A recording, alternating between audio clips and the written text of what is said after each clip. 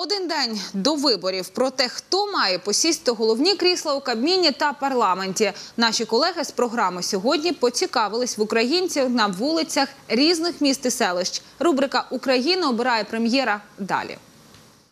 Людина, яка здатна налагодити економічні відносини. Потрібно піднімати економіку. У Гройсмана є потенціал. Він така господарська, наче людина. Мураєва, в принципі, можна було б. Мені подобаються його погляди. Гройсма. Він якось мені більше подобається. Тільки Тимош, Тимошенко. Грамотна людина в всіх отраслях. Гройсман похудел, шикарно выглядит и говорит нормально. А Я б хотіла бачити Саакашвілі, тому що ем, є результати в Грузії. А От е, видно його роботу. Гуманоїди. Прилітають і наводять тут порядок. Володимир Гройсман мене би влаштував, тому що в нього амбітні плани і багато чого із того, що він обіцяв, мені здається, в нього ну, вийшло виконати. Может быть, Гройсман. Результат его деятельности реально ну, отображается на делах страны. И он человек, мне так кажется, слово. А кого виборці бачать на чолі нової Верховної Ради? Україна обирає спікера далі.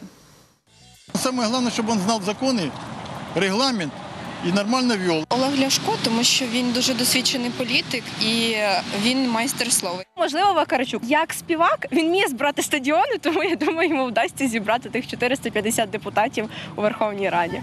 Ляшко він так правильно і просто говорить, да, доступно для всіх людей і села, і міста.